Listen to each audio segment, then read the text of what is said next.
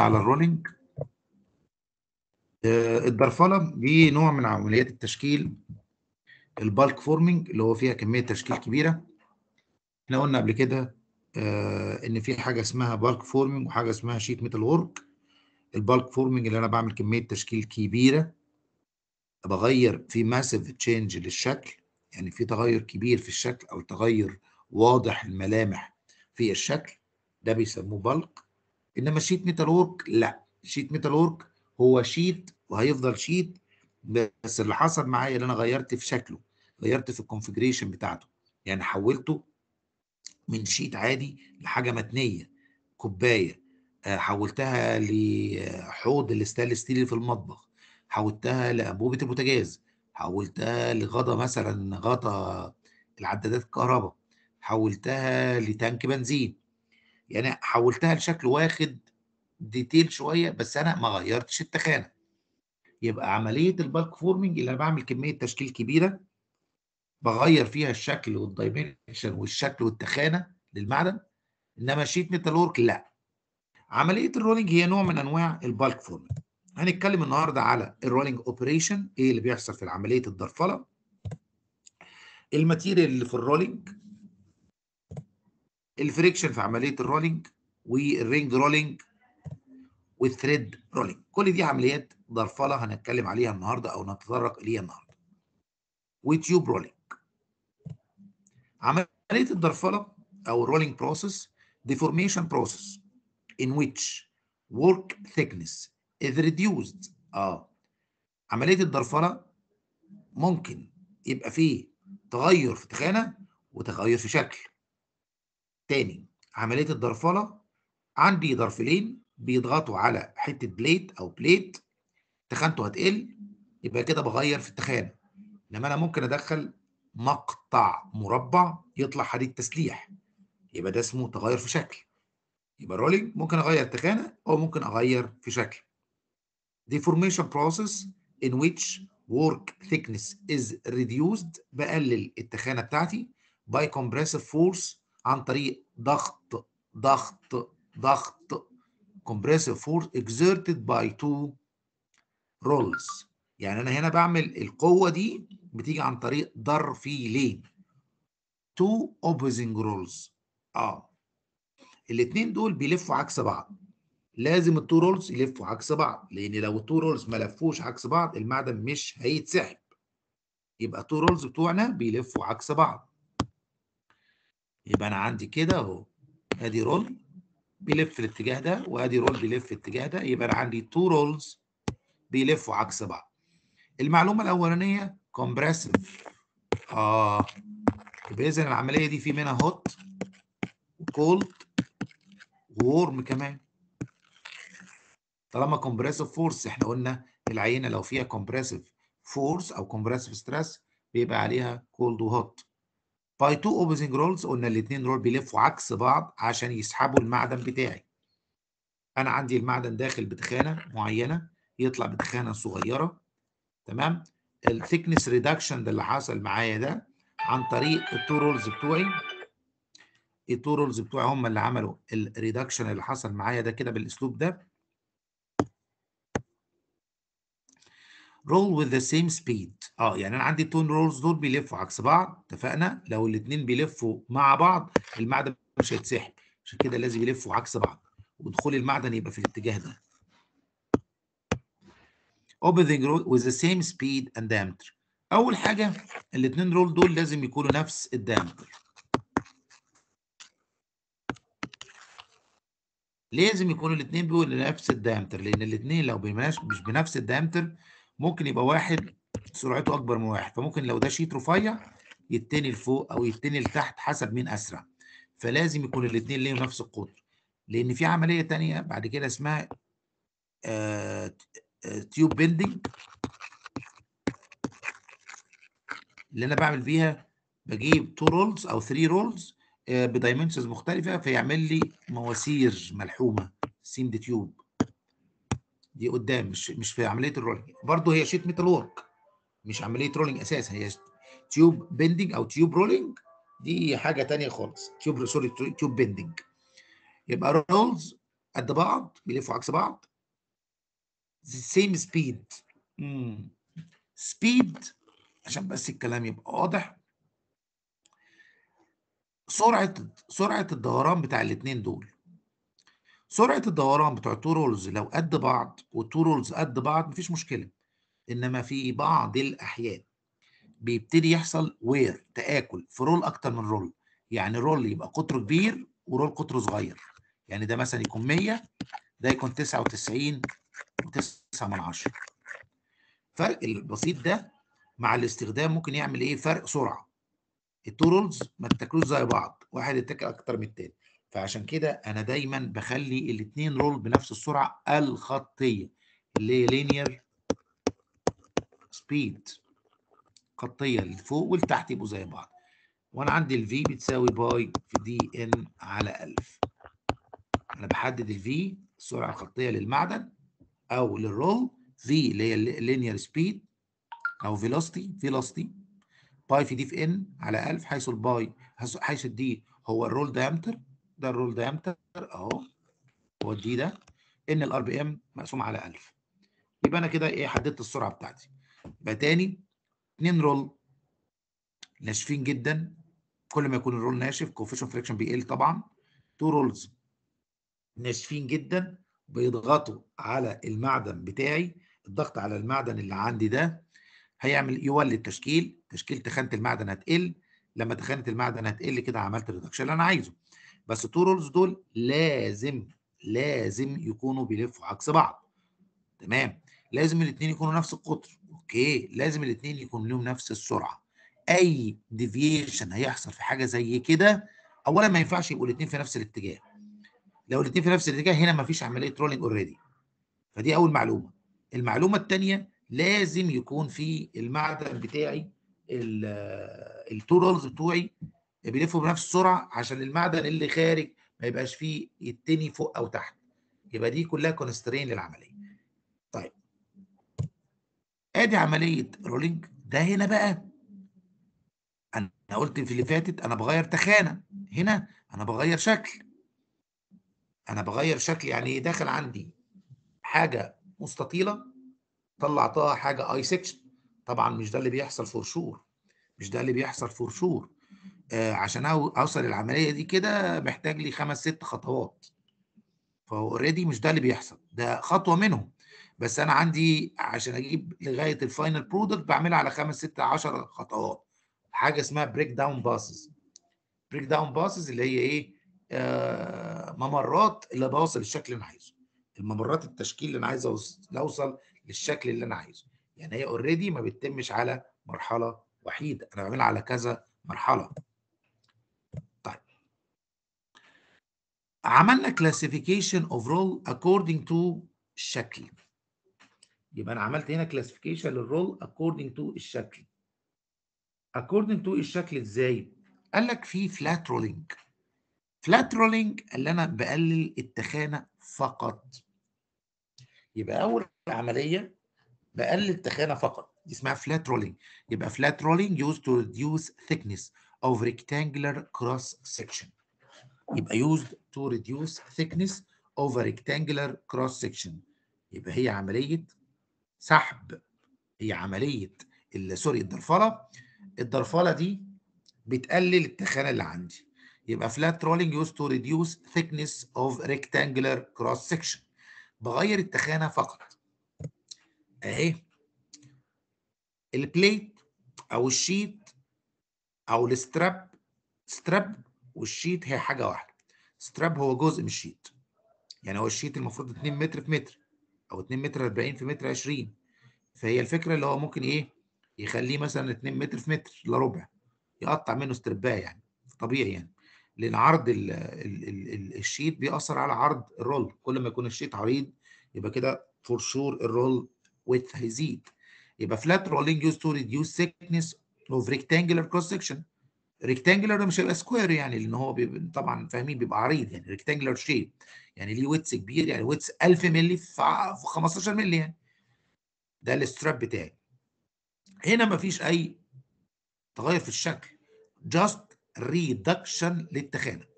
just reduction للتخانة. ده اللي بيحصل عندي. طيب. based on work piece geometry أغير بقى هنا المقاطع. Shape rolling square section is formed into shapes such as I-beam, V-shape, دايرة, tube, I-section, T-section, C-section, U-section آه يعني أنا بغير هنا مقطع. shape rolling shape rolling shape rolling دايما راحة لل steel. ال shape rolling دائما راحة لل steel. يعني الحاجات اللي بتعمل لها مقاطع بالمنظر ده هو ال steel بال rolling. يعني أي مقطع معمول I section T section C section U section دايرة معمول من ال steel أكثر الطرق. المقاطع كلها steel المقاطع كلها طبعا rolling. ما عدا ممكن شوية tube أو ممكن بارات اعملها extrusion steel برضه. بس هي ممكن أي مقطع أي مقطع steel بعمله بال rolling. أي مقطع steel بعمله بال rolling. إنما هنا عملية ال flat rolling لا. أنا عندي sheet من الالومنيوم معمول بال rolling. عندي sheet من ال copper معمول بال rolling عندي sheet من ال steel برضه معمول بال rolling. فكلمة sheet كلمة sheet already معمولة بال rolling. whatever نوع المادة إيه. يعني شيت الالومنيوم معمول بالرولينج. شيت الستيل معمول بالرولينج. شيت الستانلس ستيل معمول بالرولينج. شيت الكبر معمول بالرولينج. يبقى واضح إن أنا أي مقطع أو شكل اسمه sheet أو plate أو coil أو foil أي حاجة ليها علاقة بالإيه؟ بالتخانات الصغيرة بتتعمل بال rolling whatever نوع الخامة. إنما هنا في ال shape rolling لا. معظم المقاطع المصنعة من ال steel هي اللي رايحه بال rolling. المقاطع الأخرى زي الالومنيوم وال copper بتتعمل بال extrusion عملية ثانية أدي shape rolling. أنا بدخل على ال roll أنا بدخل على ال roll المعدن بيخش كده بقى. خش هنا.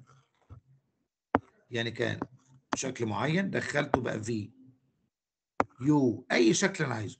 يعني ال profile ده بيتعمل between ال two rolls يعني بيبقى فيه ال ال ال الشكل بتاع ال profile مطبوع ما بين ال two rolls ال two rolls دول مثبتين في الطرفين طبيعي. عن طريق رمان بيلي أو bearing خش المعدن هنا. إنما في الثاني في ال sheet بيخش المعدن كده بيتسحب كده. يعني بص أنا هنا باصص هنا أهو. إنما إنما ده بيبص له هو كده. المقطع داخل عمودي على الصفحة بتاعتنا.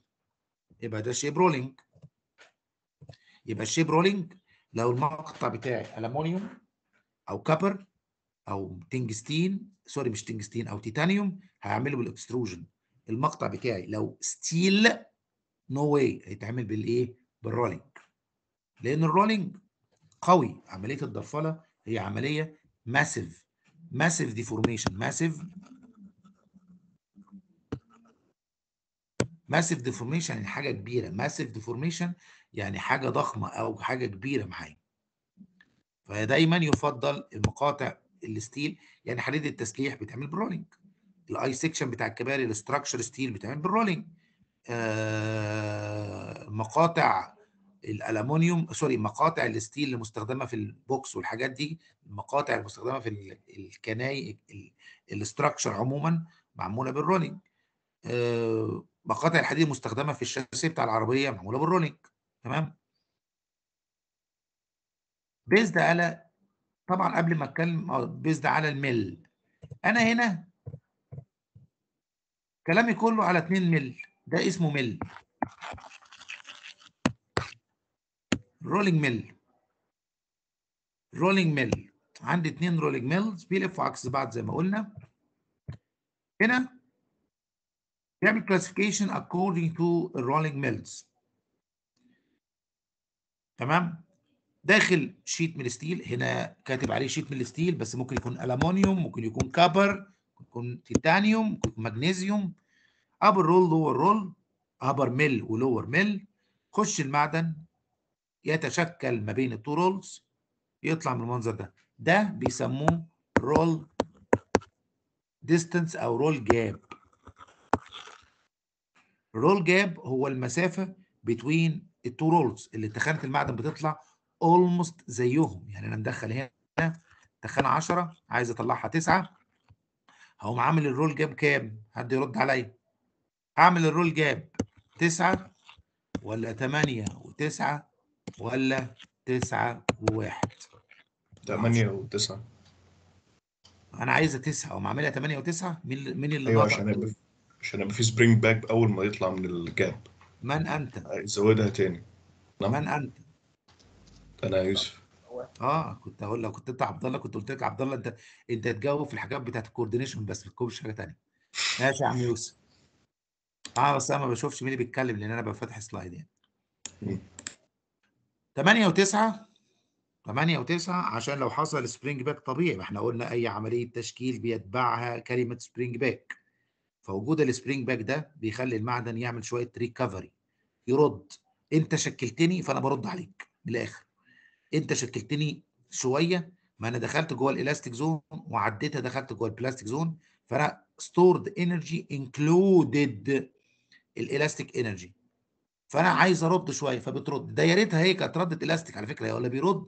الطاقة اللي بتترد دي اسمها ال resilience بتاعت المادة أو ال hysteresis بتاعت ال material بتبقى أكتر من ال elastic limit يعني المعدن لو رد ال elastic limit بس ال elastic energy بس هتبقى أقل.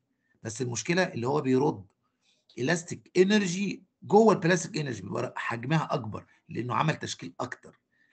يعني لو قلنا ال elastic energy للمادة دي ال resilience للمادة دي الرجوعية اللي هي ال elastic energy يعني للمادة دي آه، خمسة أو 10 ميجا باسكال طبعا energy يعني 5 جول عشان ما لخبطكمش.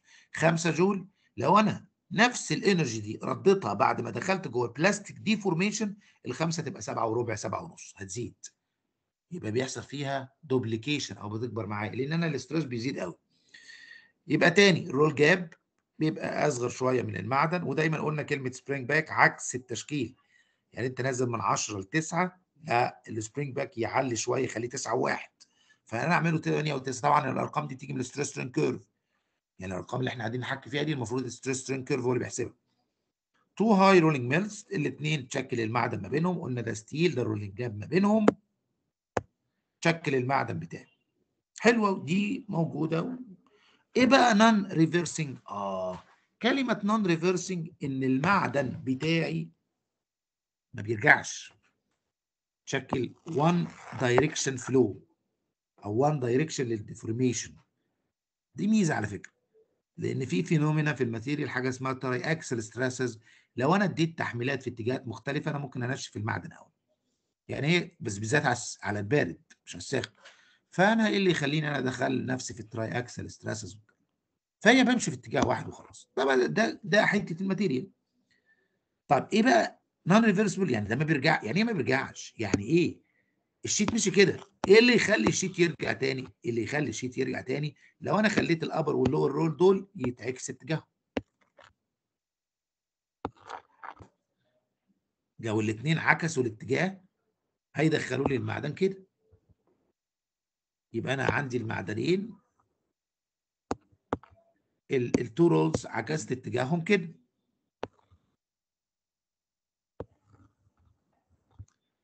يبقى بعد ما يخلص المعدن يرجع تاني. ده بيسموه بقى إيه؟ reversible ده كده ال non reversible عندي المعدن بتاعي بيشكل بشكل معين. أهو. two high mill reversible أهو. إيه اللي بيحصل؟ ده بيتشكل كده. نزل من 10 ل 9 screw down mechanism. طبعا أنا خطي بيبقى ضايع بشكل. screw down mechanism. بعد ما أخلص طب ما هو بالعقل لو ال roll ده دخل كده تمام؟ خلصت التشكيل. لو أنا رجعته تاني وهو تخانة تسعة ما استفدناش حاجة. بعد ما بخلص بعمل screw down mechanism ينزل بده شوية. آه يبقى أنا عندي هنا إيه بقى؟ المعدن بيتشكل في الاتجاه ده. خلصت التشكيل أوقف المكبس أوقف المكنة. خلي ال roll يتعكس اتجاهه وانزل بال roll اللي فوق شوية. يعني مثلا إيه نزلت من 8 ل 9 من 10 ل 9 هو موقف ونازل ده يبقى 8 يخش بعد كده يبقى من 10 من 9 ل 8 يبقى المنتج اللي يطلع هنا 8 من هنا يبقى 8 ده screw down mechanism. حلو قوي وفر space وفر floor space وفر وفر وفر. بس بالنسبة لي أنا ك material characterize ك material property مش الميزة الواو دي أول نقطة. والنقطة الثانية وجود عكس اتجاه حاول بقدر المستطاع تخلي بصوا يا شباب من الآخر يعني هي ك work ك work flow ده أسوأ أنواع التشكيل. كايه work flow أنت حضرتك لما تشتغل في مصنع بعد كده تخلي ال flow بتاع المنتج في اتجاه واحد. ليه؟ من الآخر كده زي الطريق. هل أنت لو طريق في اتجاه واحد غير طريق رايح جاي هتلاقي ده دخل قدامك عكسي عملته traffic jam عملته عملته عملته. فهو حتى في الإنتاج ال flow الواحد سهل. ال flow في اتجاه واحد سهل. أنا ما أخليش خط الإنتاج بتاعي رايح جاي يعني. إيه الميزة؟ أنا بعمل الكلام ده فين؟ في workshop في ورد في ورشة. ما أعملهاش في مصنع كبير.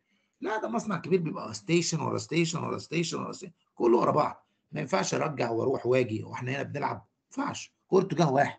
فده بالنسبة للمصانع سيء جدا. بال material مش ميزة برضه. ك accuracy سيء جدا لأن accuracy عكس الاتجاه بيعمل error عكس الاتجاه بيعمل مشكلة اسمها ال backlash. مشكلة ال backlash أو ال error أو الكلا أو ال clearance اللي كان موجود. فكل دي مشاكل كبيرة. ما بفضلهاش. أنا بلجأ لده إمتى؟ work space قليل. أنا بتكلم في شغلة بعمل لها تشكيل يعني ورشة صغيرة زي ورشة ال forming عندنا. هو ده الكلام اللي بتكلم عليه مش خط حديد وتسليح يعني. ما ينفعش. آدي الفكرة بتاعتنا. two high rolling mill بيلفوا يشكل المعدن يتشكل يرد. بس جميل قوي الكلام ده. يبقى أنا كل ما بعمل الكلام ده بيزود الايه بيزود ال بيخلي ال floor space أقل. وبيعمل إنتاج طبعا بس الكلام ده limit حجم محدد للورشة أو المكان اللي بيشتغل بيه. Uh, two high reversing mill back and forth rolling rolls may stop. طبعا هيقف في وسط التشكيل. Reverse and the pro back to roll speed between the each path. يعني أنا بخلص كده بيرجع تاني معايا التشكيل بتاعي.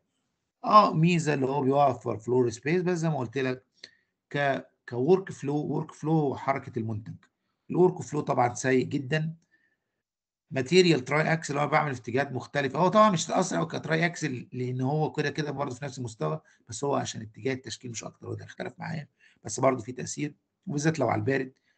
هي ميزة وكل حاجة ك floor space إن ك property لا أنا أستخدم اللي قبليه. كإنتاج أستخدم ده. أو أحل المشاكل بتاعته. قال لك في 3 rolling mills حلو قوي أنت عايز تعمل إيه؟ أنت مش عايز توفر floor space هوفره لك هوفره إزاي؟ هعمل ده ينزل من 10 ل 9 كده الشيت يخش هنا من 9 ل 8 أدي عملته من 10 ل 9 ومن 9 ل 8 3 rolling mill eliminate need for roll reverse but requires some form of elevator. طبعا. حاجة بتطلع وتنزل لأن أنت بتنزل من فوق لتحت. But requires some form of elevator on each side of mill to raise or lower material and mechanical manipulator to turn or shift product paths كذا طيب أنا بستخدم أسانسير هنا بيطلع حاجة ترفع بقى وخلاص. أو manipulator manipulator هو mechanical robot manipulator هو mechanical robot mechanical robot اللي هو حاجة أنا بعمل عليها control بس mechanical كلها هيدروليك عارفين زي إيه كده؟ عارفين زي الحاجات اللي بتكسر الشوارع. الراجل اللي بيكسر الشوارع اللي هو بيعمل الأسفلت ده بيجي يكسروه. مش ال pneumatic لا العربية الكسارة ذات نفسها اللي بتفضل تدق في الأرض دي لغاية هو الراجل بيعمل كده. هو عبارة عن إيه؟ عبارة عن levers levers يعني دراعات بيتحكم في الدراعات دي يخلي البتاع تنزل تضغط تطلع تمسك تفك تسيب what يعني. فهو كله mechanical control فده manipulator manipulator هو ال generation الاولاني الأولاني خالص للروبوت طبعا مفيد لأن أنا في بعض الأحيان مش محتاج مش محتاج high, high tech جوه مكان كله حرارة يعني. خلي بالك الحديد والحاجات دي ب 1000 درجة. فطبعا إيه اللي أنا هجيب بقى روبوت بتاعكم بقى الروبوتات اللي هي دلوقتي بلاستيك دي هتمسك إيه ما ينفعش. لازم يكون حديد. فطبعا بيبقى ال control عليه. وهو ما فيهوش الاختراعات يعني. ده هو بيشيل المنتج يحطه من مكان لمكان. بس أنا عايز أمسكه يعني من على بعد. عارف يعني remote control من بعيد شوية. أنا ما مسكتش الشغلة اللي وزنها 500 600 كيلو ودرجة حرارة 1200 أنا مش سوبر مان يعني مش مش هتلسع أصلي يعني. ما ينفعش الراجل اللي مسك الشغلة 500 كيلو ده 500 كيلو يشيلها هو مش سوبرمان وفي نفس الوقت عند درجة الحراره 1200 يعني. فما ينفعش. فأنا بستخدم ال manipulator اللي هو أول form للروبوت. طبعا هنا في elevator بستخدمه. أنا الكلام ده كله جميل بالنسبة لي. أنا مشكلتي في الأستاذ ده. الغلبان اللي في النص. بيتضرب في مادة هنا وبيتضرب في مادة تاني هنا. شايل مادتين اهو. بعد الشر عليكم يعني. شايل من فوق مادة وال metal اللي فوق وال metal اللي تحت وبتشكل ما بينهم. هيحصل له wear ال wear كبير جدا. الغلبان ده بيتاكل بسرعة. الغلبان ده بيتاكل بسرعة. فعشان كده أنا برضو ده بيعمل لي مشكلة. وبيني وبينكم ال workflow من الآخر هو المهم عندي. ما أنا ما أعملش خط إنتاج رايح جاي من الآخر. أنا ده بدرسه ل workshop ورشة صغيرة بعمل بيها الكلام ده. أنا لو بعمل خط إنتاج لا. إحنا بنعرف نعد قلنا اتنين تلاتة أربعة وفي 20 بقى كمان. أدي 3 rolling mill زي ما قلنا. طبعا واضح إيه؟ الراجل إيه؟ بيقول لك يا ابني والله العظيم ده steel. كل شوية يقوم دبب لك كلمة steel. يعني هو كل شوية يقوم دبب لك كلمة إيه؟ steel عنده كده عشان إيه؟ يقول لك افهم. هو الحاجات دي كلها steel. بس خلي بالك ده يعتبر flat rolling فيمشي steel وألومنيوم و copper إمتى يبقى steel بس؟ لو المقاطع I section أو T section عندك ثلاثة rolling mill حلو قوي قال لك عايزين نعمل أربعة rolling mills الله هو اللي عمل ثلاثة يعمل أربعة واحد تاني هيخترع يقول لي عمل خمسة. طيب. هو دلوقتي عمل four rolling mills رباعي. إيه اللي غيره؟ هو هنا ما عملش عشان إيه؟ يوفر ال floor space ولا حاجة. أربعة دي هو فلو واحد في اتجاه واحد الفلو في اتجاه واحد. هو هنا عمل إيه؟ دلوقتي لو أنا جبت لو أنا جبت كده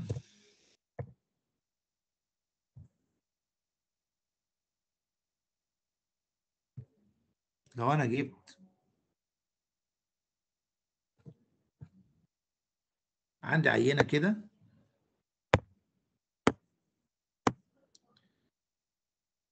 آدي roll كبير وآدي roll صغير.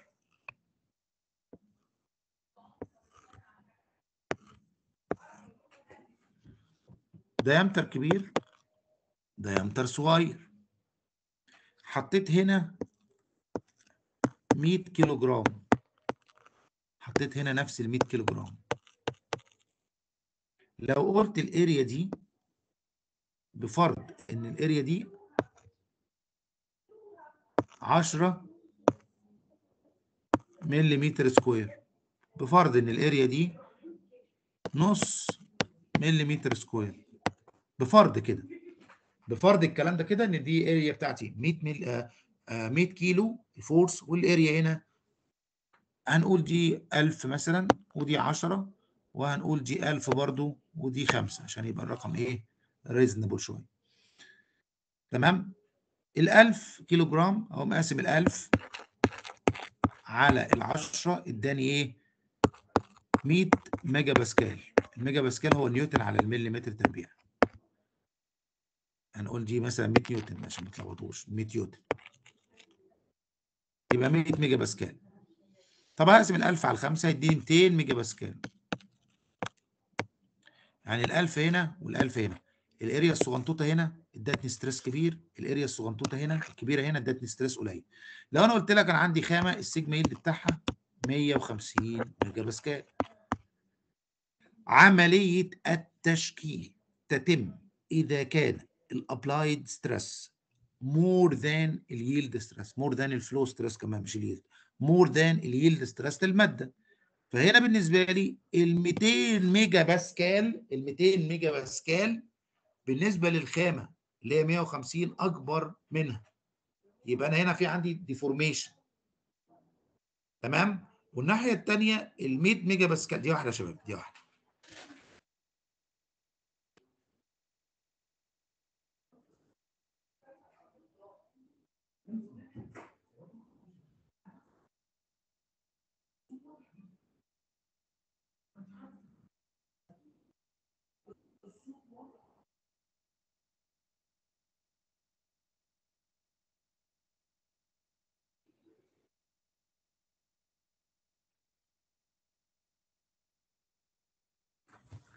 يبقى ال 200 ميجا باسكال بالمقارنة بال 150 هي أكبر.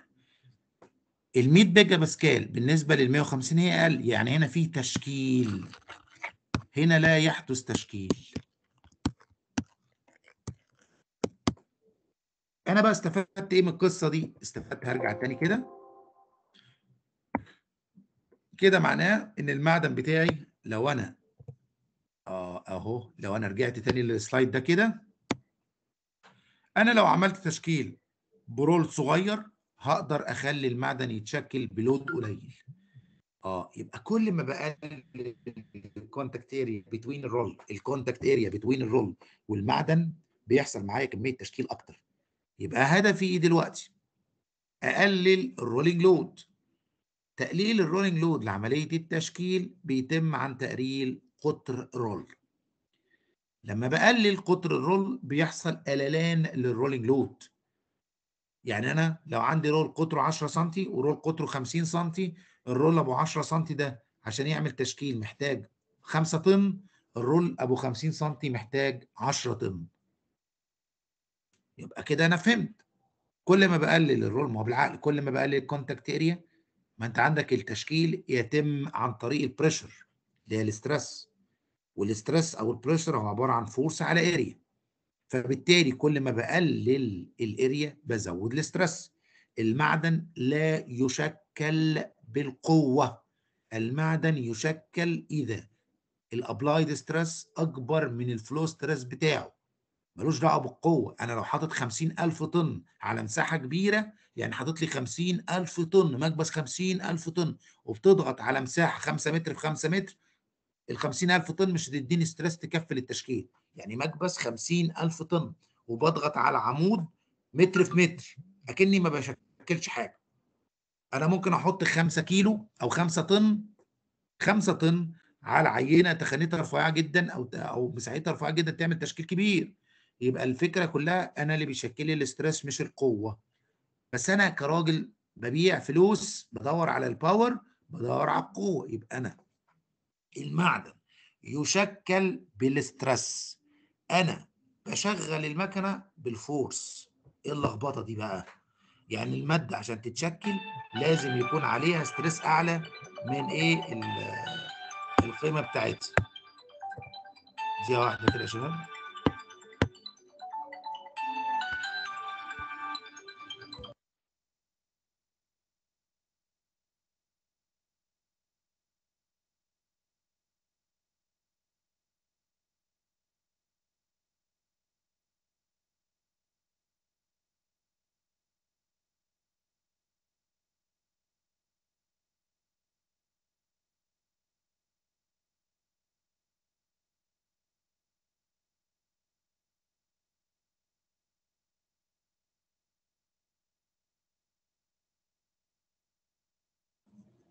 تمام؟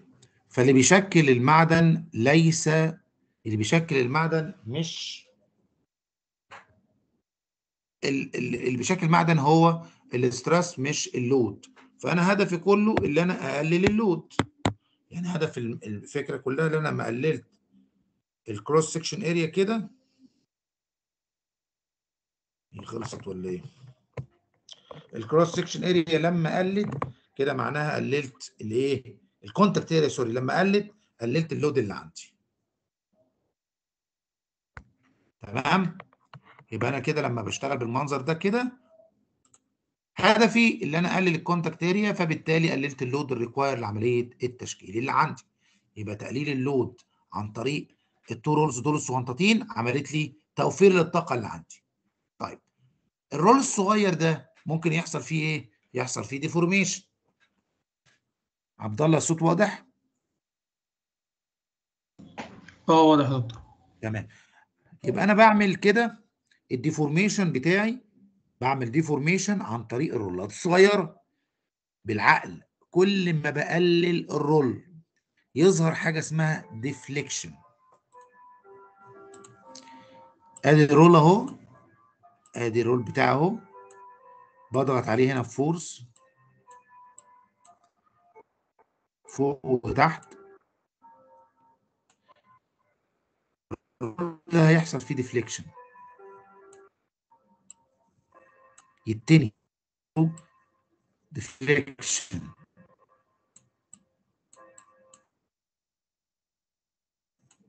أنا بكتب بالماوس بس كده جميل قوي يعني.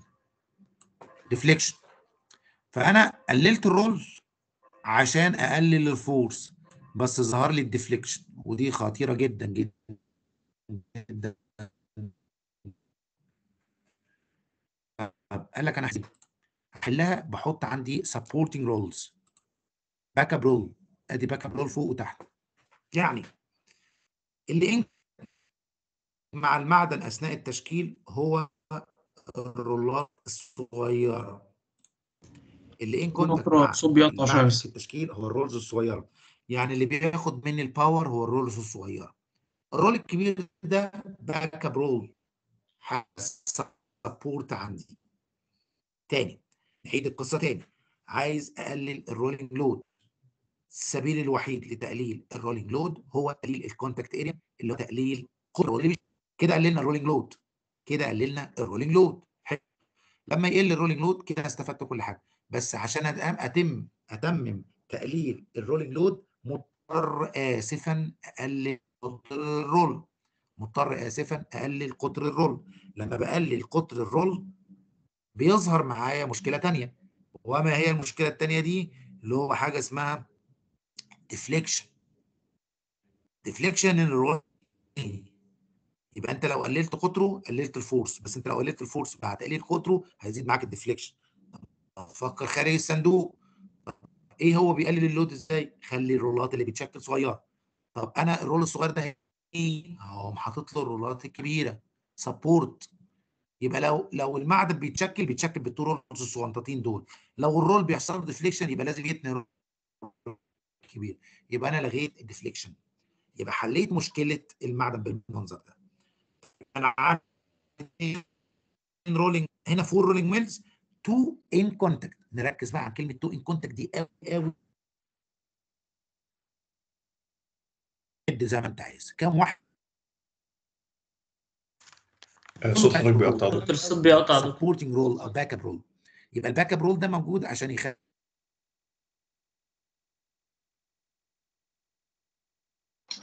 الصوت بيروح خالص يا دكتور.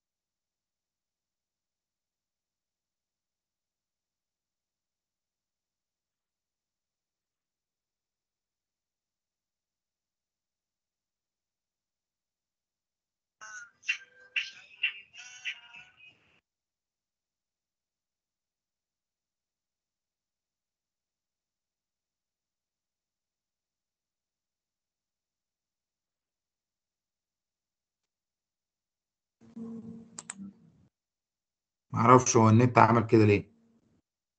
النت قوي جدا مش عارف إيه اللي حصل يعني. دخلت من الموبايل في الآخر يعني. الصوت كده واضح يا شباب؟ آه كويس جدا دكتور تمام معلش أنا آسف.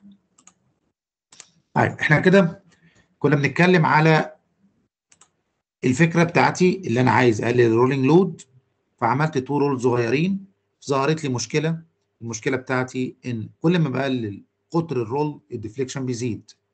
فبيحصل معايا ال deflection فبتعمل لي مشكلة تانية. قال لك أنا عايز أقلل ال load في نفس الوقت أقلل ال deflection. فحطيت ال rolling load ال rolling load roll اللي هي in contact in contact اللي هو بتتلامس مع الشغلة صغيرين وال back up roll دول كبار. طب هو عايز حضرتك يلغي عامل أي share screen يا دكتور؟ كنت ناسي تمام طبيعي ما هو الواحد بيرجع المحاضرة فاكر ليها شغاله زي ما كانت. ماشي يا عم عبد الله. تمام كده؟ تمام يا دكتور. يبقى الفكرة بقى بتاعتي إن أنا قللت ال two rolls دول in contact two rolls وحطيت الاثنين الكبار دول support طيب عايز أقلل أي error موجود من ال deflection فبدل ما أعمل support باثنين roll صغنطتين أو اثنين roll بس هعمل ب cluster cluster أو مجموعة من الرولات. ده هنا support واحد بس. الراجل بقى قال لك لا لا لا لا ما تزود يا عم وانت بتفتح حاجة من جيبك.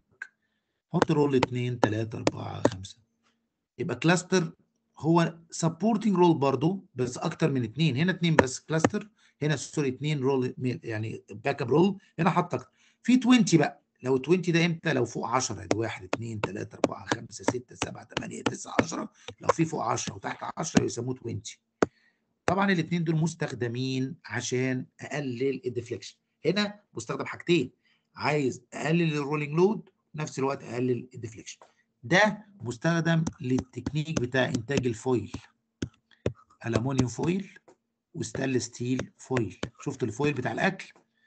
الالومنيوم foil بيتعمل بال cluster أو 20 وعلى البارد.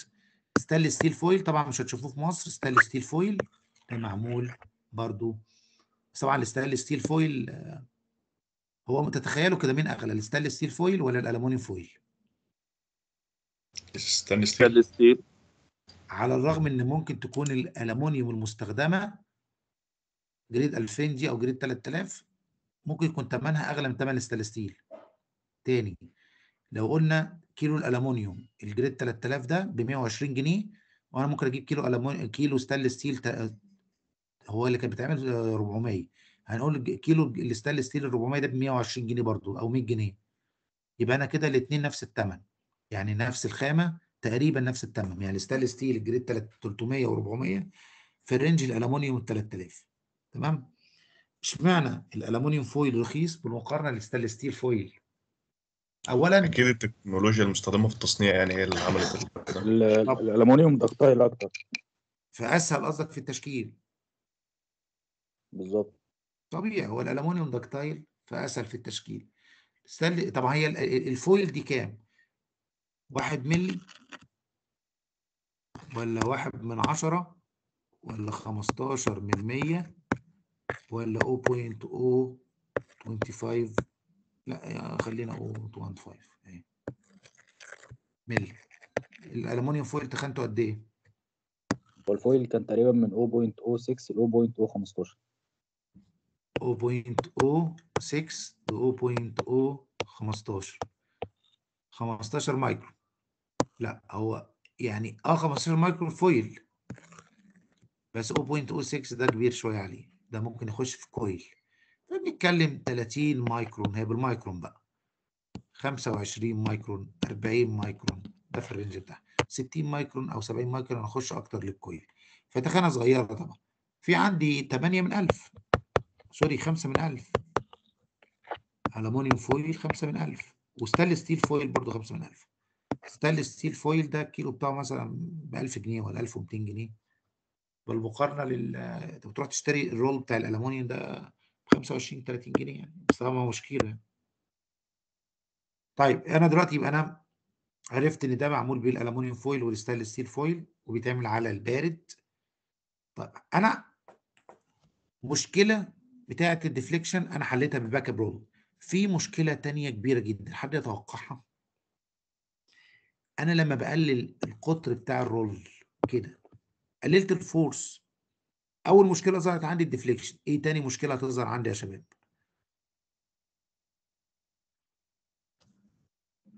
إيه المشكلة التانية اللي هتظهر عندي؟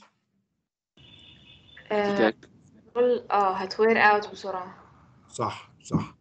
كل ما بقلل قطر ال roll بص يا شباب بيسموها ال contact time أو number of contacts مع ال- ال roll مع ال- المعدن. أنا لو عايز أعرف number of contacts ما بين ال roll والمعدن أنا say مثلا عندي المعدن بتاعي طوله say مثلا 5 متر يعني 5000 متر 5000 مللي. ال roll بتاعي قطره 10 سم يعني 100 مللي. عارفين إن عدد مرات تلامس كل نقطة هتلمس كام مرة على من الشغلة أو من ال roll على الشغلة هيبقى عبارة عن كام؟ ال 5000 على ال perimeter اللي هو pi في D فهمتوا حاجة؟ يعني مثلا 5000 على 314 يعني كده بنتكلم إيه؟ 15 مرة تقريبا يعني هنا ده كل نقطة في الرول هيلمس الشيت 15 مرة. لو أنا حضرتك عامل دي بدل ما آه، 10 سم عملتها 50 سم يعني 500 مللي هيلمس ثلاث مرات. كل ما هي ال contact time أقل ال contact time أقل كده معناه إن ال wear هيكون أقل. In case إن ال two rolls are identical كلمة ال two rolls are identical معناها إن ال hardness بتاعتهم بقيمة معينة وال roughness بتاعتهم بقيمة معينة. يعني هنا لازم أثبت ال hardness بتاعت الاثنين roll وأثبت الايه ال quality بتاعت السطح بتاعهم. طيب يبقى أنا أول مشكلة واجهتني تقليل ال load قللتها عن طريق تقليل القطر ظهرت لي مشكلة ال backup roll حليتها بالمنظر ده. ظهرت لي ال wear قال لك أنا عاملها بالطريقة دي. أنا في الحقيقة أنا ما بحلش مشكلة ال wear بال planetary دي. إيه ال planetary دي يا شباب؟ ال planetary أنا عايز أستخدم backup roll أهو backup roll أهو.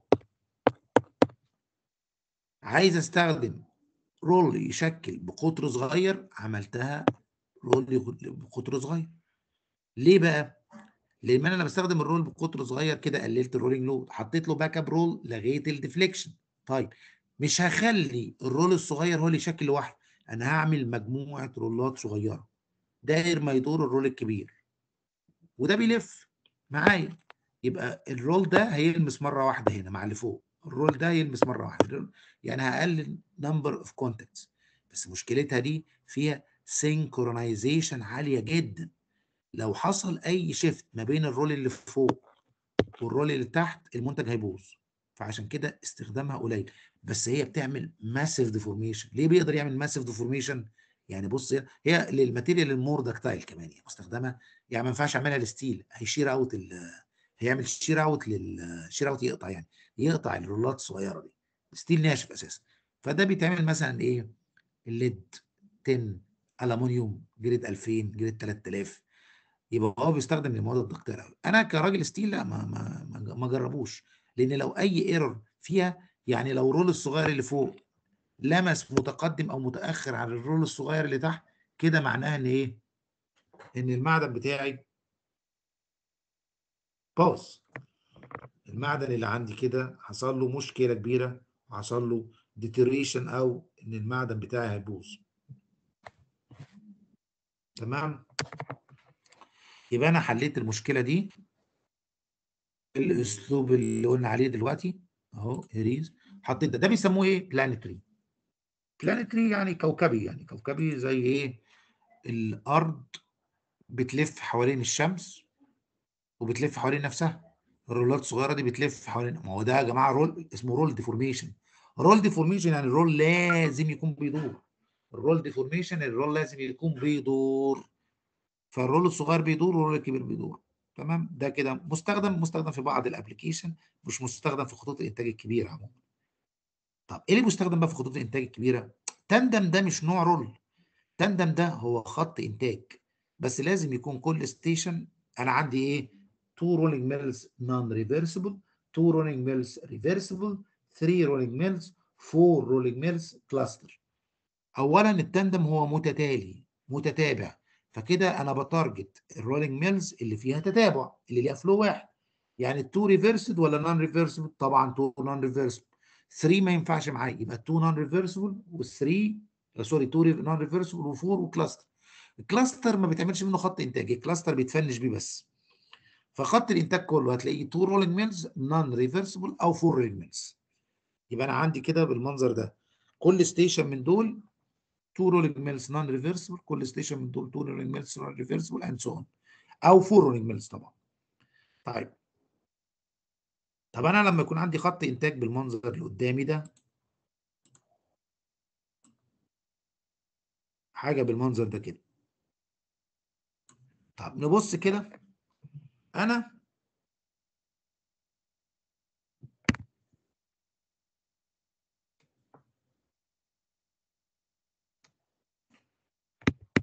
أنا دلوقتي إيه؟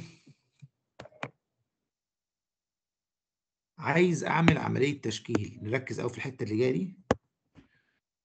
دخلت المعدن بتاعي V nought.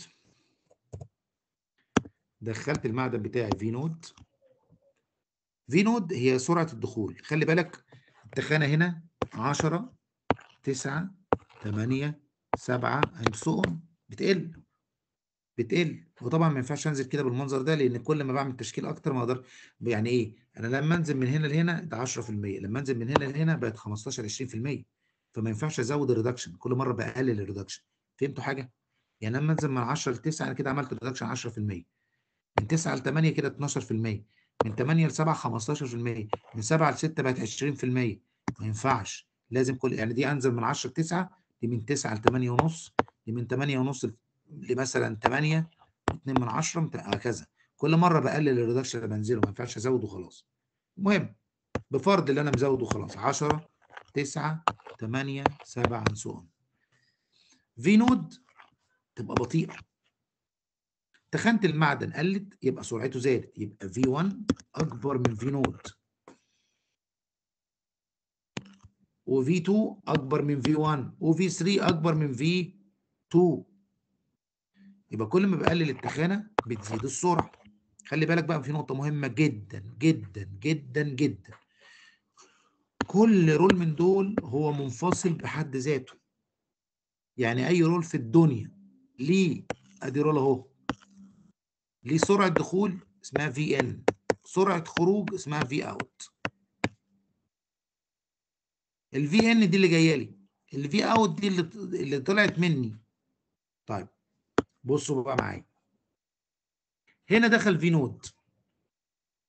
طلع V 1 يبقى اذا سرعة سرعة الدخول لل station الثانية لازم تكون V 1 سرعة الدخول لل station هتيجي تقول لي يا دكتور ما هو ال roll ده كده؟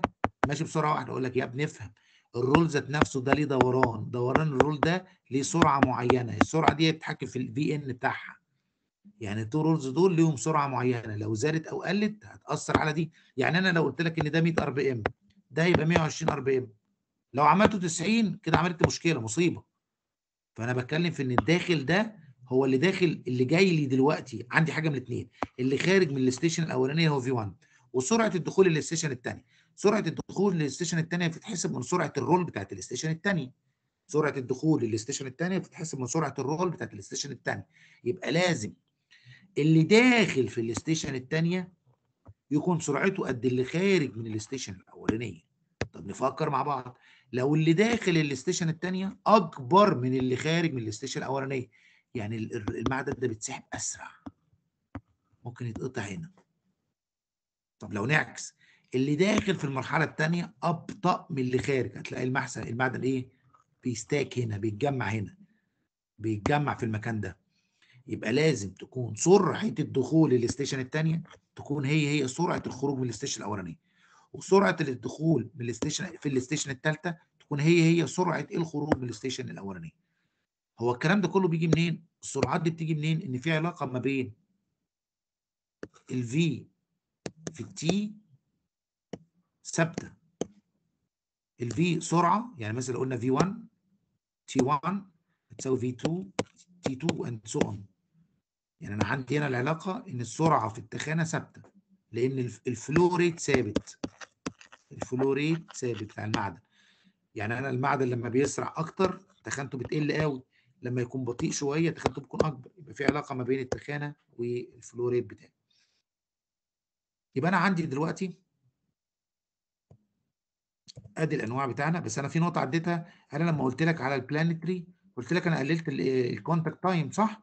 بس أنا ما استخدموش. طب انت يا دكتور بتعالجها إزاي؟ بعالج ال wear بتاع ال roll. ال roll بيكلفني كتير. ال roll في خط الانتاج الحراري بيكلفني كتير. فبعمل حسابي اللي أنا بتكلم فيه. تكنيك عالي جدا في تصنيع ال roll. material high quality جدا في مستخدمة. معمول لها heat treatment فكل ده موجود جوه ال roll. فأنا الكلام بتاعي كله على ال roll لا أنا بقف له كده وأدي له تعظيم سلام. لازم تكون ال material بتاعته محترمة. ال roll من الك... ال roll ممكن يخش له في 300 400 ألف جنيه يا جماعة. ال roll لو قطر كبير يعمل له نص مليون جنيه. رقم مهول طبعا. ده roll واحد أنت بتركب في المكنة اتنين وده خط إنتاج فيه 30 40 station يعني. شوف الأرقام عاملة إزاي يعني. تمام؟ فهو طبعا مكلف فلازم تكون ال material بتاعته نظيفة جدا. آه لو سمحت يا دكتور معلش بس أنا مش فاهم ال planetary rolling مش فاهم الحاجات يعني الدوائر الصغيرة دي. الدوائر الصغيرة هي دي roll ات. ادي هنا roll لو أنت خدت roll من فوق مع roll من تحت. كل roll من دول لما ده يلف ده هيبقى in contact مع ال roll اللي زيه تحت هنا هيشكل هنا. يبقى ال roll ده شكل دلوقتي وطلع في الهواء الطلق. جه واحد بعديه جه. يبقى أنا عندي كل واحدة فيها يعني كل roll من دول بيشكل one time بس. مرة واحدة بس ما بيعملش زي التشكيل اللي هنا ده اللي هو رايح جاي معاه. يعني ده بيشكل ويطلع في الهواء يجي بعديه واحد والناحية الثانية يجي بعديه واحد. يخلصوا يطلعوا في الهواء يجي بعديهم اللي بعديهم واحد تاني وهكذا. يبقى ال roll الصغير هو المسؤول ده ال deforming roll اللي هو ال in contact roll إنما الكبير ده هو ال backup roll تمام؟ يبقى ال roll الصغير هو اللي بيشكل. بس هو مش بيشكل 24 ساعة هو بيشكل مرة ويريح يجي 25 مرة قبل ما يجي تاني. يعني هو كل roll من الصغيرين بيشكل مع roll قصاده. خلصوا الاثنين couple دول خلصوا يبقوا في الهواء الطلق. يجي جزء غيرهم يجي جزء غيرهم وهكذا. هي دي فكرتها. بس عشان يشكل لازم يلف. عشان كده ال two rolls الصغيرين ال roll ات الصغيرين بيلف ركز اهي كاتب لك ال work roll. ال work roll اللي هو ال roll الصغير. خم... 3 diameter 3 inch diameter يعني 75 مللي تقريبا. وبيلف بكام ده؟ كاتب لك سرعته بكام؟ 232 RPM يعني بيلف. ال roll الكبير بيلف بإيه؟ بسرعة. عشان كده آه دي special machine دي. أنت عندك هنا بص يا ابني حياتك كلها لو أنا اديتك سرعة رقم مكتوب على حاجة معناه في موتور متوصل بيه. ركز في كلامي. لو أنا رجعت كده بالذاكرة لل slide اللي قبل دي.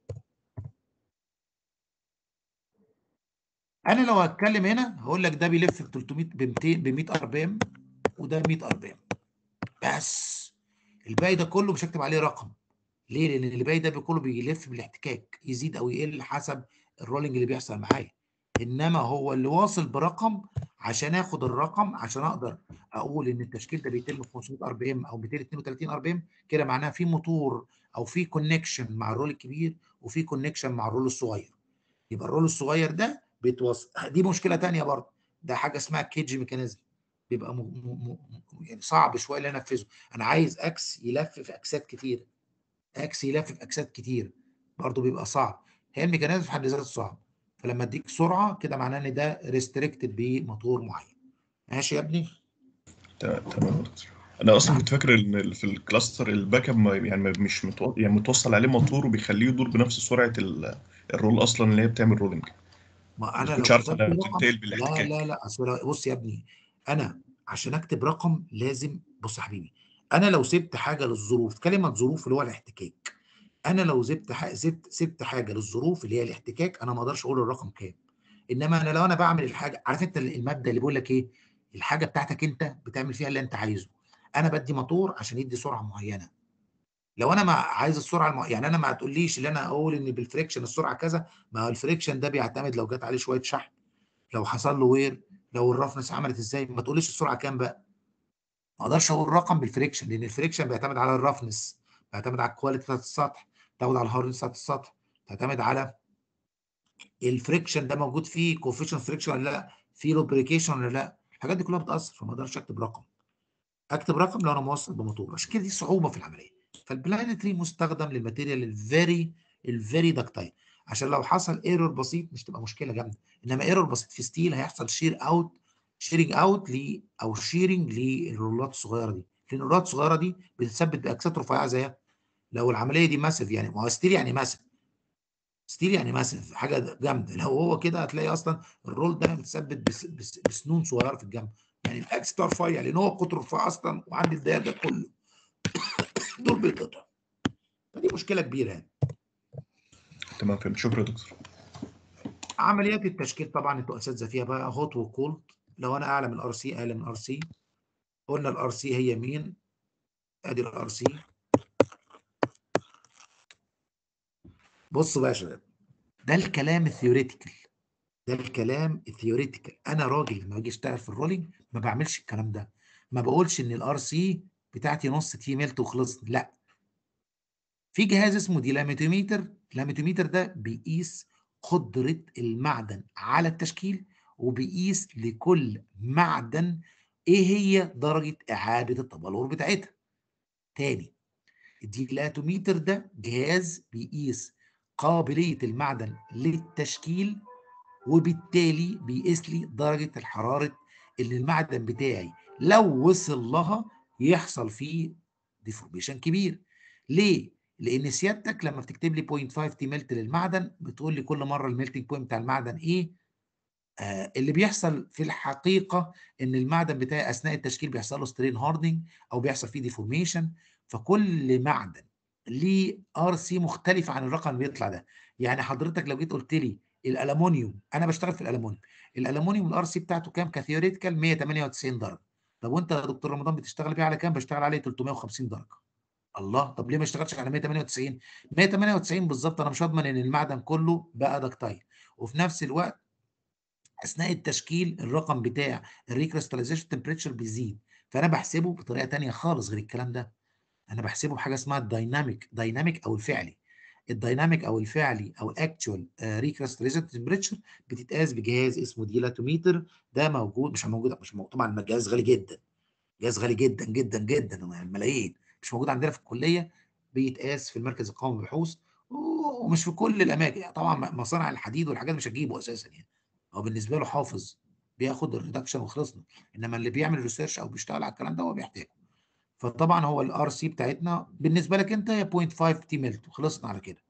انما زي ما بقول لك بيطلع ممكن يوصل لغاية 0.8 كمان. يعني أنا بتكلم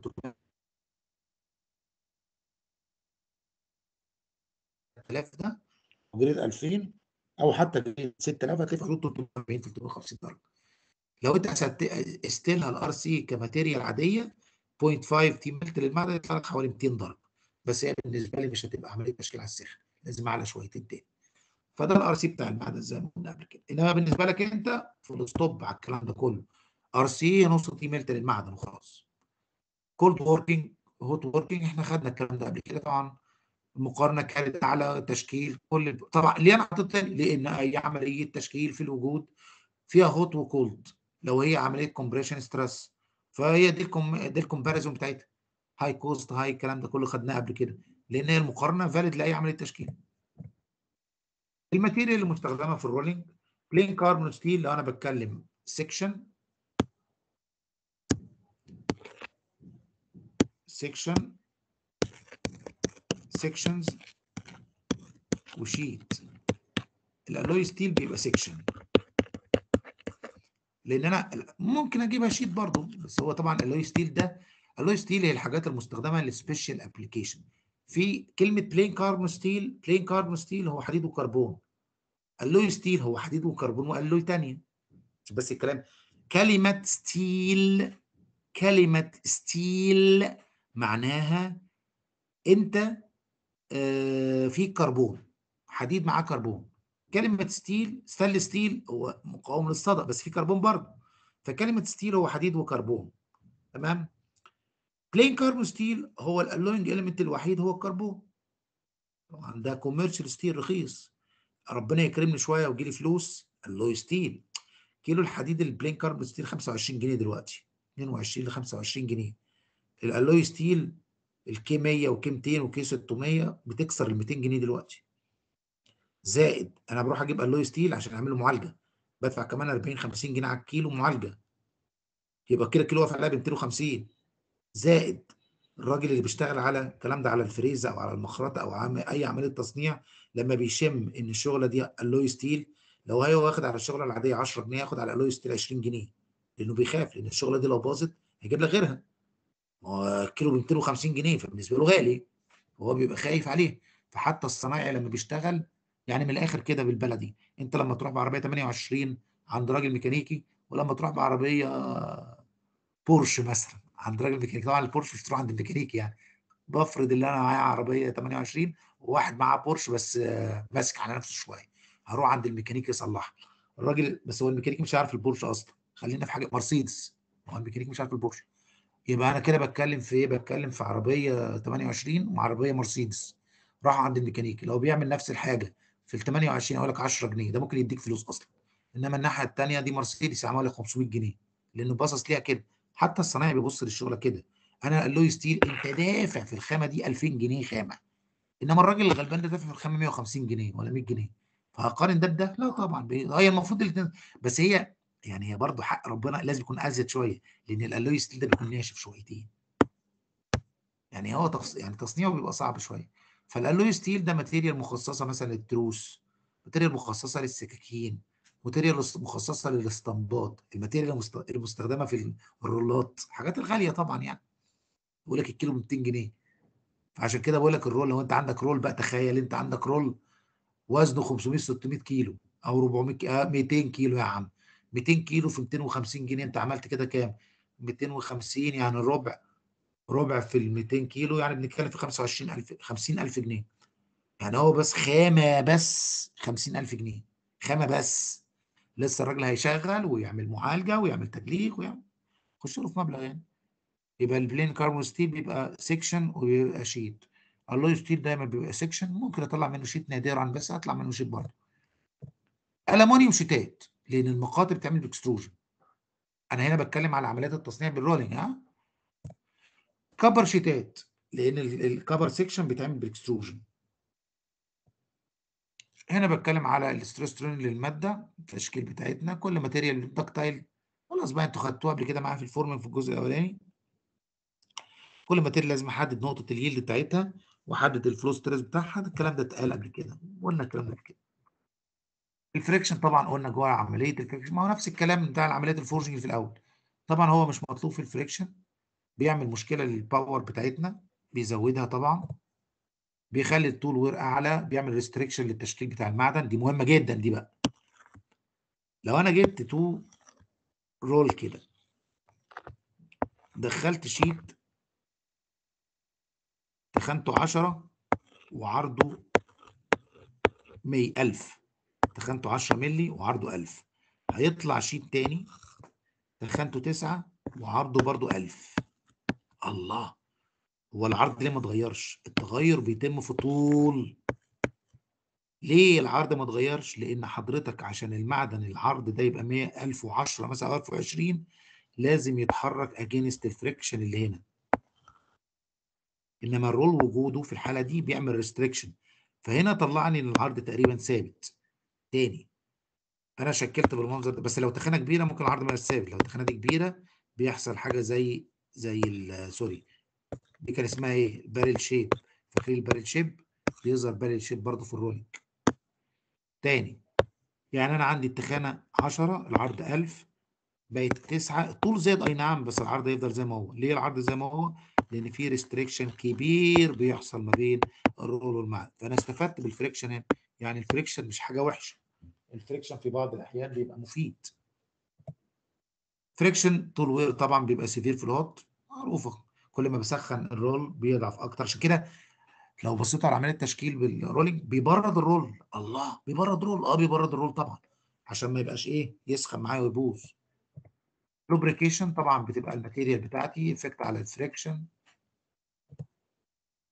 إيه فايدتها؟ بتقلل التلامس بتدي سكوتات أكتر بتشيل ال heat من ال roll. كل دي ميزات ليها.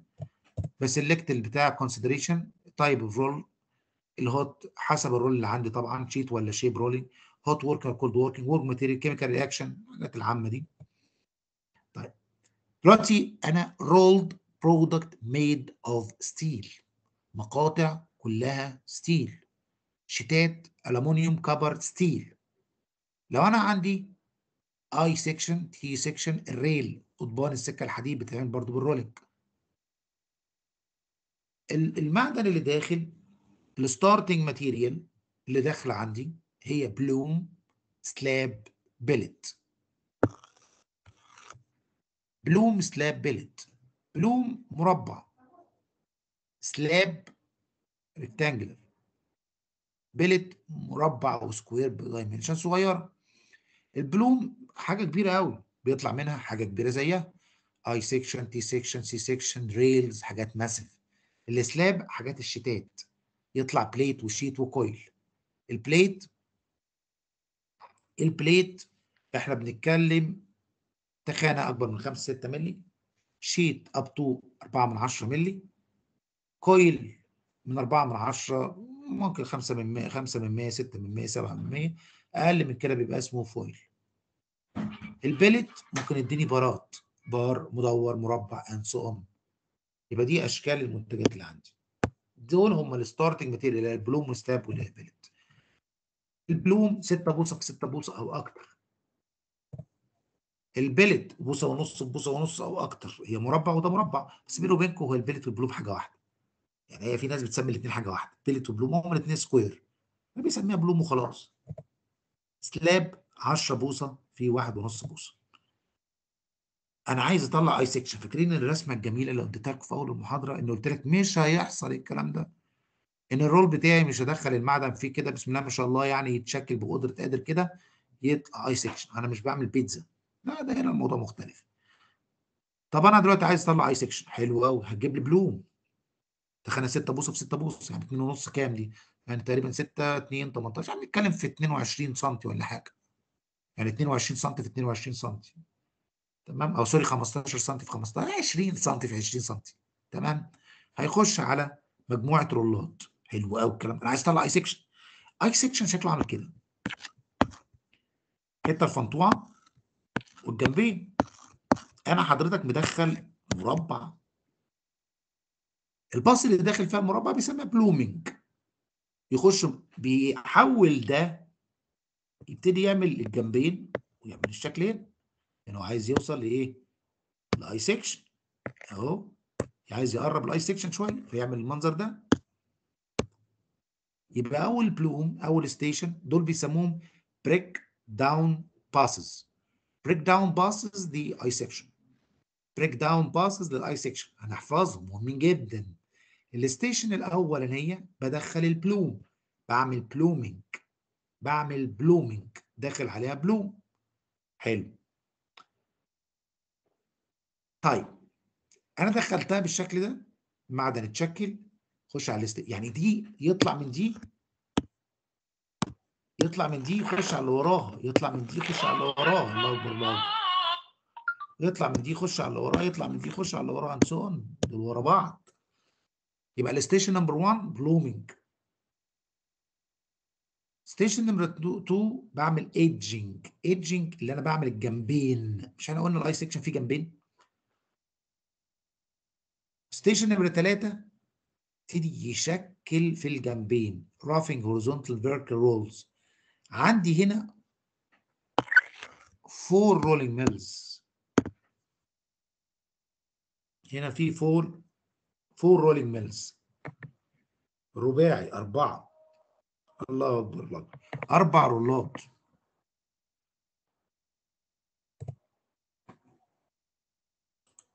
أهو. دول أربعة. تمام؟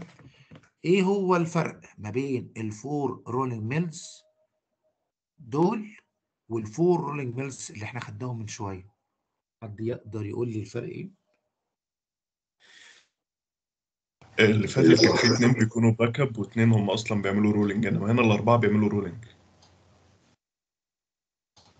back up واثنين تشكيل. حلو يبقى. في in contact rolls الكلمة دي مهمة جدا. هنا four in contact هناك two in contact قولا واحدا. هنا four in contact هنا أربع roll ات. أربع roll ات. ال two rolls دول two rolls دول بيشكلوا الجنبين وال two rolls الكبار دول بيشكلوا ال- الويدج بتاع الايه ال I section تمام؟ طبعا الأربعة بيلف في الاتجاه اللي هو يدخل المعدن ما بينهم ها؟ يعني كلهم طبعا ده- دي عكس دي طبعا ودي عكس دي. دي طالعة كده دي نازلة كده. المهم في الآخر المعدن اللي يخش لل support اللي يخش على الشاشة لجوه يطلع من الشاشة. عمل four rolling mills four rolling mills تاني عشان يضمن هنا تخانة أكبر شوية ابتدى يقلل التخانة. كده عمل station 5 عمل edge roll تاني خلى ال roll ات اللي في يعني خلى شال الاثنين اللي هنا بحرية. كده finish في الآخر. طيب سؤال أنا ليه ما فن شلت الخم... ما شلتش الخمسة دي وحطيت ستة على طول؟ ليه ادى edging roll تاني بعد كده finish؟ ليه ما حطش ال finish station 3 rough intermediate finish وخلصنا؟ ليه عمل كده؟ فاهمين أنا بتكلم فيها يا شباب؟ هو ليه حط station تانية في النص ما بينهم؟ ال station دي عشان تطلع أي residual stresses جوه المعدن. أدي المعدن فرصة ليعمل ال spring back بتاعته ويعمل كل حاجة بعد كده finish. عشان أضمن مليار في المية إن ال mechanical proper بتاعته كويسة. يبقى عشان أ finish لازم أدي حرية وأ finish. تمام؟ أدي حرية ليه وأ finish. يبقى أنا وجود ال edging roll ده عشان أخلي المعدن يعمل الشكل بتاعه وبعد كده أ finish التفنيش النهائي عشان أدي أي فرصة لل stress release للمعدن. بالذات لأن ال finish دايما بيكون cold فعايز أخلي المعدن stress relieved شوية لأن cold working هيبقى يعمل ال- العملية بتاعتي. طبعا هي ال finish مش لازم تكون cold على فكرة ممكن تكون hot لأن أنا ممكن أعمل أي section hot مفيش مشكلة يعني. دي ال station اللي عندي كلها. كلمة four rolling mills in contact و two in contact مهمة. ال stations كلها blooming edging edging في مرتين. station 2 وفي الرقم اللي قدام. كده أصلا. يعني بعملها أنت متخيل إن أنا جايب حاجة مربعة اتحولت ل station 1 بقت bloom بالمنظر لا طبعا. بعملها على مرحلتين ثلاثة تمش الكلام ده كده بالذات لما يكون steel بتخانات كبيرة. يعني اللي بيتكلم عليها دي I section صغيرة. لو I section كبيرة لا مش هينفع كده أصلا. هتلاقي فيها فيها 12 station مثلا مش اثنين مش ستة بس يعني. دي مهمة يا شباب. خط إنتاج. آه حاجة حلوة جدا. بص خط الإنتاج. يا نهار أبيض. شايف خط الإنتاج عامل إزاي؟ اولا لو حد واقف هيقف هنا في الحتة دي. شوفوا هيبقى ارتفاعه قد إيه. يعني أنت لو طولك مثلا متر 80 متر 75 هو ارتفاع المكنة قدك ست سبع مرات. يعني بتتكلم المكنة دي عمارة. شايفين دي كده؟ دي عمارة ثلاث أدوار. متخيلين؟ ما هو أنت لو واقف هنا هتقف هنا يعني. يعني لغاية البتاع دي متر وربع مثلا متر و... سوري متر وربع إيه متر وستة من عشرة متر وسبعة من عشرة. 2 متر يا عم انت لو انت ناطحة سحاب. 2 متر هي قد أربع مرات اهي. بنتكلم في 7 8 متر. يعني عمارة 7 8 متر يعني عمارة دورين. طبعا ضخمة جدا. ورا بعض. يطلع من هنا يخش هنا. يطلع من هنا يخش هنا. يطلع من هنا يخش هنا. On. ادي خط الانتاج ادي station 2 3 4 5 ده نوع إيه ده يا جماعة؟ tandem ولا إيه؟ هو ده tandem هو ده ال tandem roll. هو مستخدم هنا إيه؟ ادي ال roll ات بتاعتي هنا 2 3 4 وهكذا. هنا بيحط إيه؟ back up roll من بره مش back up roll حاجة زي sub يعني roll آه، احتياطي. على أساس لو حصل تآكل هنا يركبه دي استخدام والاستخدام الثاني ده ممكن يكون البارد لأن خط الإنتاج بيشتغل سخن وبارد يعني ده ممكن يكون ال roll ات بتاعت البارد. يعني هو هنا بيشيل دول ويركب دول roll ات البارد بالمنظر ده كده. roll ات البارد بالمنظر ده كده ويعملها تمام؟ آه لو سمحت يا دكتور ممكن سؤال معلش؟ في ال section rolling يعني. هو ليه ما بيعملش يعني rolls بحيث إنها تطلع ال I beam على طول؟ ليه بناخدها على ال stages دي يعني؟ يعني إيه بعملها roll 12 آه زي ال roll الأولانية اللي أنا عملتها في الأول صح؟ مم. اللي أنا ادخل المعدن يتشكل مرة واحدة صح كده؟ آه بالظبط ده قصدي طب ماشي اعملها لو تعرف تعملها اعملها. يا ابني لا المعدن مش أنا أنا عايز أعرف إيه المشكلة بس. لا المشكلة هو أنت ينفع تعمل الحديد تجيب له مقطع مربع تطلعه أي section ده أنت لو بتعمل في عجينة مش هينفع أنت متخيل؟ لو أنا بعملها في عجينة مش هينفع أعملها مرة واحدة. لازم اعملها مرة واحدة. ممكن steel ناشف يا ابني. لازم- ده ده ده اللي قدامي الستة station دول مش هم الحقيقيين. ده ممكن يبقى أكتر من كده أساسا. وخلي بالك هي ليها حسابات. وليها إيه كمان؟ break down passes دي ليها تكنيك لإنه ممكن يدخل الشغلة دايرة يعني يلفها يلف يعني يخلي الزاوية 90 درجة عشان يعمل uniform deformation طبعا ما تعملش في مرة واحدة طبعا ما ينفعش. لو ينفع okay go ahead إنما في الحقيقة مش هيحصل طبعا. الحديد فيه كمية تشكيل متاحة لكل معدن. حديد مادة قوية فكمية التشكيل المتاحة ليه بتبقى قليلة شويتين ثلاثة اقف أنا لغاية كده لأن أنا لازم أروح الكلية لأن عندي meeting مهم. مش عارف أنا قصه النت. أي سؤال؟ أي سؤال يا شباب؟ لا تمام. يلا دكتور إيه؟ الفرق بين ال flat rolling وال... والكلام ده؟ إيه؟ إيه الفرق بين ال flat rolling وال reversed وال non-reversible؟ هم كلهم واحد. إيه ما- ما- ماليش دعوة؟ قصدي نفس النوع قصدي بنفس النوع flat إيه اللي أنت إيه إيه إيه, إيه, إيه, إيه الكلمات الكتيرة اللي مالهاش علاقة ببعض دي إيه إيه إيه ال flat rolling؟ آه، ال flat rolling. وال non-reversed ها حد والنبي يا جماعة من اللي كان حاضر كده إيه يجاوب بقى عشان أنا نفسيا تعبت. أصل هو سألني في كده حاجات كتير. ما تقول لي اسمك يا دكتور كمان بالمرة. الأسئلة كلها اللي شبه بعض دي. حد يجاوب يا جماعة؟ إيه الفرق بين ال flat rolling وال reverse ال reverse وال non-reverse لازم حد يجاوب لا شايلكم المادة كلكم من الآخر. بلاش أنت يا عبد الله مفيش غيرك؟ أنا تمام. حد تاني؟ عارف هو ال reversible بيبقى اتجاه اتجاه خط الإنتاج واحد بس واحد بس ده واحد بس اللي جاوب. دلوقتي هو قال إيه الفرق بين ال flat وال reversed وال non-reversed صح؟ هو إيه العلاقة بين ال flat وال reversed وال non-reversed مفيش علاقة لأن ال flat دي حاجة ليها علاقة بشكل المنتج. أنا ممكن أطلع آه، flat وممكن أطلع I section و T section تمام؟ مظبوط. ممكن أطلع flat أو أطلع section T section أو C section اللي له علاقة بالشكل. دي نقطة. reversed و non-reversed إن ال roll بتاعي بيعكس اتجاه ولا لأ؟ بس في نقطة مهمة جدا جدا جدا جدا جدا. السؤال ده كان سؤال خبيث جدا بس هو طبعا مش قصده. أنا ما أقدرش أنا ما أقدرش ركزوا في دي بقى أستخدم ال non-reversed أو ال reversed جوه ال I section ليه؟ لأن كل station ليها مقطع مختلف عن التاني. ما ينفعش أرجع. أصلا إحنا كده كده قلنا ال station دي ورا بعض فما ينفعش أصلا أرجع أساسا. بس حتى لو رجعت في ال flat أنا بقلل التخانة فقط. فأنا بنزل أقدر أعملها. انما في ال section أنا ما أقدرش ارجع خالص لأن المقطع اللي جاي مقطع غير اللي أنا كنت فيه.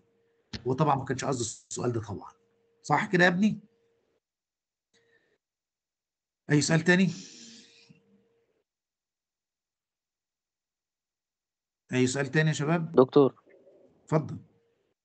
هو يعني إيه metal flow retarded عشان ما فهمتهاش بس. لا retardance retardance حاجة تانية خالص. retardant يعني هي اللي هي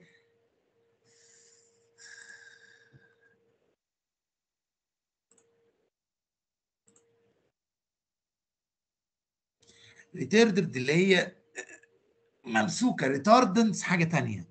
retardant اللي هي constrained متحكم فيه. يعني ما يقدرش يمشي بمزاجه عملت constrain كلمة constrain عملت حدود ليها. إنما ال retardance حاجة تانية خالص. هنا قصدي بيها إن المعدن بتاعي مش هيتشكل في أي اتجاه. retardant إنما الثانية retardance حاجة تانية خالص اللي هي بتاعت flame retardance هي حاجات جوه البلاستيك بتعمل من- منع للاحتراق. flame retardance حاجات مانعه للاحتراق. تمام؟